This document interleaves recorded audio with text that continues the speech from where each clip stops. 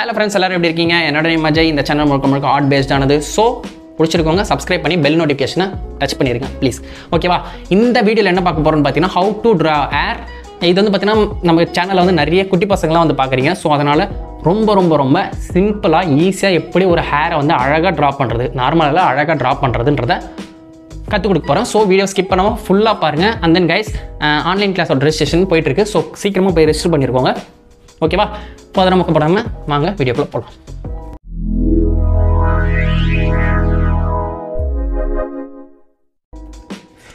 Okay friends இப்போ பாருங்கள் நான் வந்து ஜஸ்ட்டு எந்த இடம் ஸ்டார்டிங் ஆகுது எந்த இடம் ஃபினிஷ் ஆகுதுன்னு சொல்லிட்டு ஒரு பேசிக் அவுட்லைன் மட்டும் நான் ட்ரா பண்ணியிருக்கேன் ஃபார் யுவர் அண்டர்ஸ்டாண்டிங் சரிங்களா?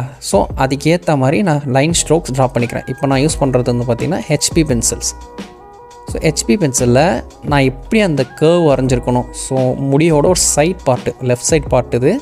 ஸோ அது எந்த கேர்வில் இருக்கோ அந்த கேர்வுக்கு ஏற்ற மாதிரி நானும் இந்த பென்சில் வச்சு போட்டுக்கிறேன். ஸோ ரேண்டமாக இருக்கலாம். அது எப்படி இருக்கும் அதே மாதிரி பர்ஃபெக்டாக இருக்கணும்னு அவசியம் கிடையாது. ஹேருன்றது ரேண்டமாக தான் இருக்கும். ஸோ நான் அதை முடிச்சிட்டேன். அதை முடிச்சுட்டு இங்கே பாருங்கள் பிளெண்டிங் ஸ்டம்பை வச்சு நான் இதை ஸ்மச் பண்ணிக்கிறேன். ஏன்னா இது வந்து ஃபஸ்ட் லேயர் சரிங்களா? இது கைஸ் மூணே மூணு ஸ்டெப் தான் இது. ஸ்டெப் ஒன் பார்த்தீங்கன்னா பேஸ் லேயர் கொடுக்கணும். சரிங்களா? நல்லா நோட் பண்ணிக்கோங்க. இது வந்து ஸ்டெப் ஒன் நான் கொடுத்துட்ருக்கிறது ஃபுல்லாகவே நான் ஸ்டெப் ஒன் தான் சொல்ல போகிறேன் ஃபஸ்ட்டு தென் அதை கொஞ்சம் கொஞ்சம் கொஞ்சமாக இன்க்ரீஸ் பண்ணணும். ஃபார் எக்ஸாம்பிள் நெக்ஸ்ட்டு வந்து பார்த்திங்கன்னா நான் இப்போ four B pencil same stroke அதே மாதிரி இப்போ எப்படி ஹெச்பி பென்சிலில் பண்ணனோ அதே மாதிரி சேமாக ஃபோர் பியில் பண்ணுறேன் ஓகேவா இது வந்து செகண்ட் லேயரிங்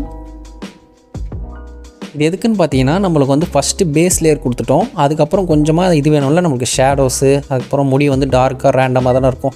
ஸோ அதுக்கு வந்து அடுத்த லேயர் கொடுத்துக்குறோம். ஸோ இந்த மாதிரி ஒரு ரெண்டு இல்லை மூணு பென்சில்ஸ் கொடுத்தாலே நம்மளுக்கு ஆக்சுவலாக வந்து பார்த்திங்கன்னா ஒரு ஹேர் வந்து எப்படி இருக்குமோ அந்த மாதிரி நம்மளுக்கு கிடச்சிரும் then final step step three என்னென்னு பார்த்தீங்கன்னா ஹைலைட் அவ்வளோதான் ஜஸ்ட் இந்த மூணே மூணு ஸ்டெப்பு எல்லா ட்ராயிங்க்குமே இது சூட் ஆகும். எல்லா ஹேர் ட்ராயிங்க்குமே இது சூட் ஆகும். ஸோ ஸ்டெப் ஒன் ஒரு பேஸ் டோன் ஒரு பேஸ் கோட் கொடுக்கணும். பேஸ் கோட் வந்து நார்மல் பென்சிலை வச்சு நான் கொடுத்துக்கிறேன். அதை வந்து ஸ்மச் பண்ணிக்கிறேன். அடுத்த லேயர் கோட் அது வந்து ஷேடோஸ் கோட் ஸ்டெப் டூ அதுதான். ஷேடோஸ் வந்து கொடுத்துக்கணும். நான் இப்போ வந்து பார்த்தீங்கன்னா செகண்ட் லேயர் ஷேடோ கொடுத்துட்டேன். தென் ஃபைனலாக வந்து பார்த்திங்கன்னா இருக்கிறதுலே ரொம்ப டார்க்காக என்கிட்ட இருக்கிற பென்சிலை வச்சு நான் யூஸ் பண்ணிக்கிறேன். ஸோ அது வந்து ஃபைனல் இங்கே பாருங்கன்னா டென் பி ஃபைனலாக டென் பி யூஸ் பண்ணிக்கிறேன். இது வந்து ஃபைனல் கோட் ஸோ ஃபஸ்ட்டு நல்லா ஞாபகம் வச்சுக்கோங்க. ஃபஸ்ட்டு வந்து base coat step one step two வந்து பார்த்திங்கன்னா லேயரிங் அதாவது ஷேடோ கொடுக்குறது. ஸ்டெப் த்ரீ ஹைலைட் கொடுக்குறது. அவ்வளோதான் சரிங்களா? இப்போ பென்சில் வச்சு பாருங்கள் நான் டார்க் பென்சில் போட்டோன்னே அதுக்கு ஆக்சுவலாக ஹேரோட டோன் தெரியுது பாருங்கள் ஸோ முடி எந்த லெவலுக்கு எப்படி நம்ம கேர்வாக இருக்கோ அதே போக்கில் நானும் இதை வந்து போட்டுக்கிறேன். பென்சில் எந்த வச்சு எப்படி வச்சு ட்ரா பண்ணுறேன் பாருங்கள் அது ஷார்ப் ஹெட்ஜஸ் வந்து வைக்கிற மாதிரி ட்ரா பண்ணுறேன் நீங்கள் வந்து பிளண்டாக இருக்கிற ஹெட்ஜஸ் வச்சு வரைஞ்சிடாதீங்க. பார்க்க வந்து நல்லா இருக்காது. முடிஞ்சாலும் ஷார்ப் ஹெட்ஜஸ்ஸை யூஸ் பண்ணி ஹேரை மட்டும் ட்ரா பண்ணிக்கோங்க. ரேண்டமாக இருக்கலாம் ஸ்ட்ரெயிட்டாக இருக்கணும்னு அவசியம் கிடையாது. ஸோ எந்த வாக்கில் இருக்கணும் அந்த வாக்கில் இப்போ வந்து ட்ரா பண்ணிக்கிறேன்.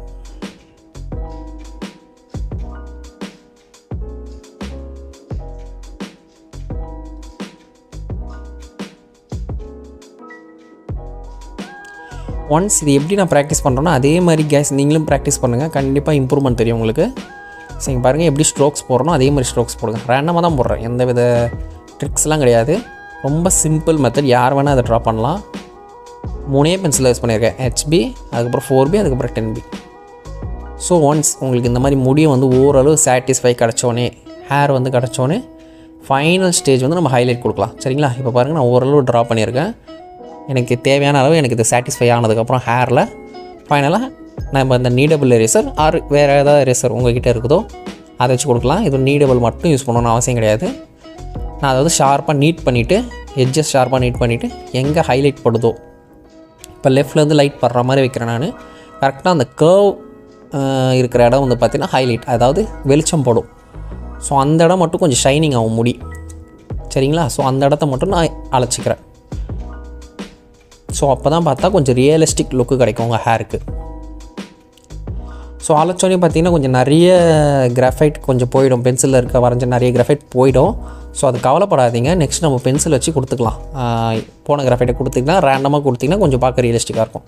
ஸோ இங்கே பாருங்கள் இது கொஞ்சம் ஆர்டிஃபிஷியலாக இருக்குது அதுக்கு வந்து நம்ம என்ன பண்ணுறோம்னு பார்த்தீங்கன்னா பென்சில் வச்சு இந்த மாதிரி ஸ்ட்ரோக்ஸ் போட்டுக்கிறோம். ஸ்ட்ரோக்ஸ் போட்டால் கொஞ்சம் ரியலாக தெரியும் உங்களுக்கு. பாருங்கள் இப்போ நான் அதே ஃபோர் பி பென்சில் வச்சு போடுறேன். அண்ட் தென் கொஞ்சம் முடி வந்து அங்கங்கே ரேண்டமாக இருக்கிற மாதிரி போட்டுக்கிறேன் பாருங்கள் வெளியே வர மாதிரி போட்டுக்கிறேன். அப்போ தான் பார்க்க நல்லாயிருக்கும் ட்ராயிங் ஹேரை பொறுத்தவரைக்கும் கொஞ்சம் ரேண்டம் முடி வேணும். ஸோ அங்கங்கே நீட்டிகிட்டு இருக்க மாதிரி வெளியே வரா மாதிரி போட்டால் தான் பார்க்க ஒரு லுக்கு சூப்பராக இருக்கும். ஸோ இந்த மாதிரி ரேண்டமாக போட்டுக்கோங்க. எந்த வித ப்ரொசீஜரும் கிடையாது இதுக்கு. உங்கள் விருப்பம் தான் front back side curly hairs அந்த மாதிரி எந்த மாதிரி வேணால் போட்டுக்கலாம். ஸோ இது வந்து பார்த்திங்கன்னா கொஞ்சம் ஸ்ட்ரெயிட் ஹேருக்கு தென் அடுத்து வந்து ஒரு கேர்லி ஹேருக்கு எப்படி வரைகிறதுன்னு நான் சொல்கிறேன்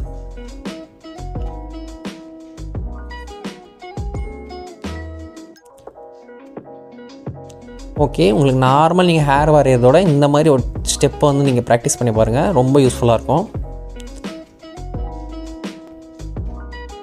ஓகேவா ஸோ இது வந்து பார்த்திங்கன்னா நார்மல் ஸ்ட்ரெயிட் ஹேர் இப்போது கேர்லி ஹேர்ஸ் கேர்லி ஹேருக்கும் நான் இதே மாதிரி ஒரு அவுட்லைன் போடுறேன் பாருங்கள் ஃபார் எக்ஸாம்பிள் கேர்லி ஹேர் வந்து இப்படி வருதுன்னு வச்சுக்கோங்க.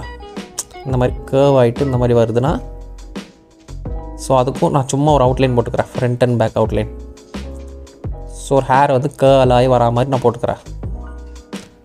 ரேண்டமாக தான் போடுறேன் கைஸ் உங்களுக்கு எந்த ஹேர் எப்படி இருக்கும்னு பா ஃபோட்டோவில் பார்த்து ட்ரா பண்ணுறீங்களோ அந்த மாதிரி நீங்கள் போட்டுக்கோங்க. போட்டு சிம்மில் சேம் ஸ்டெப் தான். ஃபஸ்ட்டு பேஸ் ஸ்டோன் கொடுக்குறேன். ஹெச்பி பென்சில் வச்சு பேஸ் ஸ்டோன் கொடுத்துக்கிறேன். பாருங்கள் ஹேர் எந்த போக்கில் போகுதோ அந்த போக்கில் தான் கொடுக்கணும். நீங்கள் உங்கள் இஷ்டத்துக்கு ரேண்டமாக கொடுத்துறாதீங்க. அது ஒரு முக்கியமான ஸ்டெப் இதில். ஹேரு கேர்ள் ஆகுது. ஸோ அந்த மாதிரி கேர்ளாகவே நான் ஷேட் கொடுத்துக்கிறேன். நீங்கள் பாட்டுக்கு front back side vertical horizontal அந்த மாதிரி கோடெலாம் போட்டுறாதீங்க. நல்லா இருக்காது பார்க்க. கேர்ள் ஹேருக்கு கேர்ளாக தான் நம்ம கோடு கொடுக்கணும். நான் எப்படி கொடுக்குறேன்னு பாருங்கள் அதே மாதிரி நீங்களும் கொடுங்க. ஸோ இந்த மாதிரி பேஸ் கொடுத்துட்டேன் நான். சரிங்களா? அதையும் வந்து சஸ் மச் பண்ணிக்கிறேன் நான். ஏன் ஸ்மச் பண்ணுறோன்னு பார்த்தீங்கன்னா அங்கங்கே வெள்ளை வெளியே திட்டு திட்டாக தெரிஞ்சால் நல்லா இருக்காது ட்ராயிங் ஸோ அதனால தான் இது வந்து ரொம்ப சிம்பிள் மெத்தடு இது கிட்ஸுக்கு தான் மெயினாக நான் ஃபோக்கஸ் பண்ணேன். எல்லோரும் பெரியவங்க கூட யார் வேணாலும் ட்ரா பண்ணலாம். பட் கிட்ஸு கூட ரொம்ப ஈஸியாக ட்ரா பண்ணுற மெத்தடு ஹேரில் ஸோ யூஸ் பண்ணிக்கோங்க இந்த மெத்தட் தென் நான் ஃபோர் பி யூஸ் பண்ணுற பாருங்க. முதல்ல நான் எல்லாத்துக்கும் கொடுத்துக்கிறேன். எல்லா இடத்துலையும் நான் அந்த மாதிரி ஹேர் வர மாதிரி கொடுத்துக்கிறேன். அதுக்கப்புறம் தான் நம்ம ஹைலைட் ஹைலைட்னா வெளிச்சமான இடம். அது அழைக்கிறோம்ல எரேசர் வச்சு. அதை அதை வந்து ஹைலைட்டு அது கடைசியாக தான் கொடுப்பேன் நான். ஸோ மூணு step base layer shadows highlight so இங்கே பாருங்கள் இதுவுமே நான் வந்து பார்த்தீங்கன்னா எந்த சைடு வந்து கேர்வ் ஆகி எப்படி ஹேர் மூவ் ஆகுதோ அதே மாதிரி தான் போட்டுக்கிறேன் நான். அந்த மாதிரி போடுறது தான் நல்ல லுக்காக இருக்கும். பார்க்க ஹேர் ரியலிஸ்டிக்காக தெரியும்.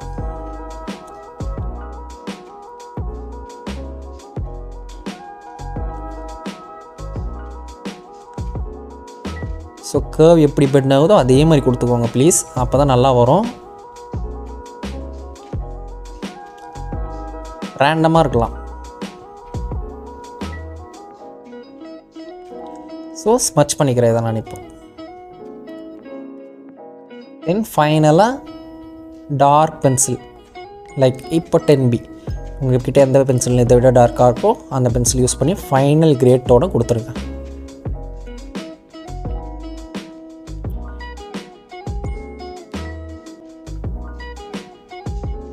ஸோ இந்த இடம் வந்து பெண்டாக இருக்குது கரெக்ட்டுங்களா ஸோ அந்த இடம் வந்து பார்த்திங்கன்னா இன்னும் கொஞ்சம் டார்க்காக இருக்கும். கரெக்டாக இடம் வந்து வந்து ஷேடோஸ் ரீஜன் கொஞ்சம் பெண்டாக இருக்கிற இடம்லாம் வந்து பார்த்திங்கன்னா ஷேடோஸ் ரீஜன் கொஞ்சம் அந்த மேடாக இருக்கிற இடம் லைக் அந்த கேர்வாக பெண்ட் ஆகுதுல மேல் பக்கமாக அங்கே வந்து பார்த்திங்கன்னா லைட் பட போகுது. வெளிச்சம் படப்போகுது அங்கே வந்து பார்த்திங்கன்னா நம்ம அழைக்க போகிறோம் ஸோ அங்கே வந்து பார்த்திங்கன்னா கொஞ்சம் ரிலாக்ஸேஷன் விட்டுருங்க. மற்ற இடம்லாம் வந்து பார்த்திங்கன்னா ரொம்ப அடியில் பெண்ட் ஆகிறதுலாம் கொஞ்சம் அதிகமான ஷேடிங் கொடுத்துருங்க. அப்போ தான் நல்லாயிருக்கும் பார்க்க பாருங்கள் அந்த கேர்வாக இருக்கிறதெல்லாம் நான் அந்த மாதிரி கொடுத்துக்கிறேன். ஏன்னா அங்கே வந்து நம்மளுக்கு இது வரப்போகுது ஹைலைட் வரப்போகுது.